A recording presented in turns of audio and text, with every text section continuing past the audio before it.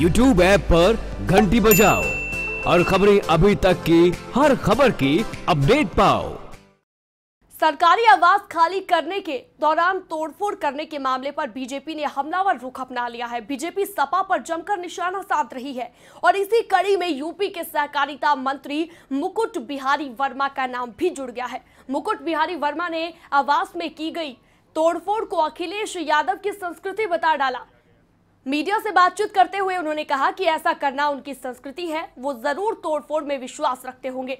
आपको बता दें कि सुप्रीम कोर्ट के आदेश के बाद पूर्व सीएम अखिलेश यादव को सरकारी आवास खाली कराना था और आदेशों के बाद जब अखिलेश यादव ने घर खाली किया तो वो अपने साथ आवास में लगी टाइल्स तक ले गए, जिसकी सभी आलोचना कर रहे हैं।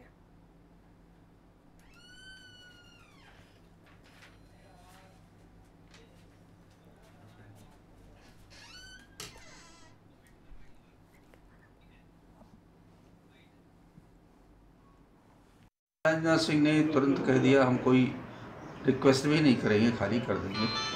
माननीय कल्याण सिंह ने भी खाली कर दिया ये हमारी संस्कृत है। और अखिलेश यादव जी ने जो किया है, वह उनकी संस्कृत है। उन्होंने बहुत कोशिश किया, पहले टाइम मिल जाए, नहीं मिला तो फिर अपनी संस्कृत का, ये उनकी संस्कृति हो तो देखते हैं ना तोड़ फोड़ पर विश्वास करते हैं।